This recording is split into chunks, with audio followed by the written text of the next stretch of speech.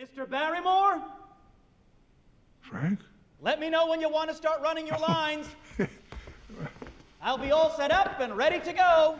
Well, Mr. Efficiency has finally turned up. Hello, Frank! Hello, sir. How have you been? Fine, sir. Keeping busy? Yes? Oh, that's our Frank. Traffic bad? Took the train, sir. Uh, you still living in Yonkers? yes? With your mother? Yes. And how is she? So so. What? So so. Oh, well, that's, that's life.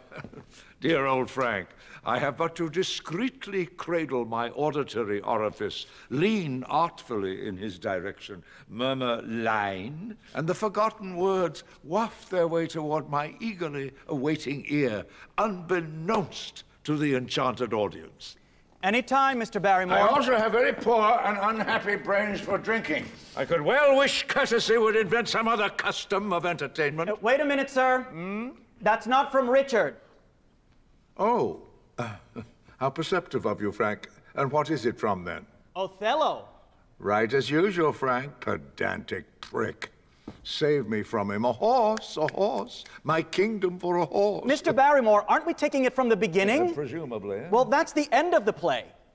Ah, tedious boy. All right, Frank. Let us proceed with the libretto.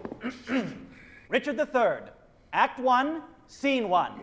You, you will forgive me for a moment. I, I, I need to steel myself a little here. ah, right. Start me off. Now, Now's as good a time as any. no, now is the first word. Oh, Now is the. now is the. What?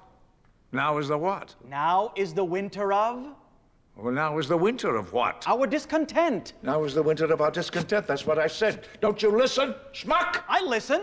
Uh, Frank, don't prompt me unless I ask. I mean, if I ever need one, I will just say line. Line. Made glorious summer Line. by this son of York. Line. And all the clouds. And all the clouds that lowered upon our house in the deep bosom of the ocean, buried. God, that was a killer. Let's take a break.